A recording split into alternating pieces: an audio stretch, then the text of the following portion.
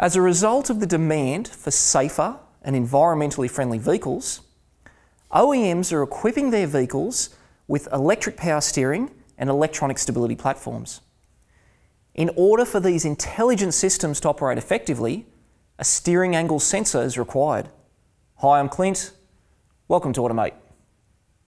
Steering angle sensors may be of any rotational design, whether it be optical, non-contact, magnetoresistive, or even Hall type.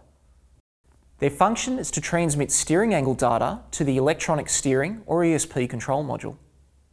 They may do this via a communication bus or be connected direct to the module and transmit via dedicated circuits.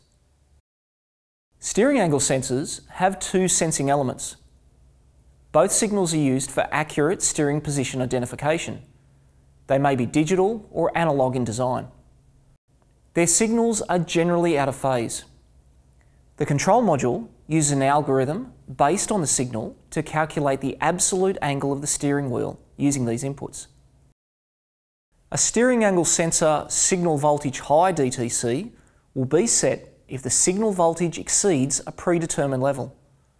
This may be caused by an open or short to voltage within the sensor, harness or ECM. Like what you see? To gain access to the most advanced automotive technical training available, visit our website and be the best technician you can be.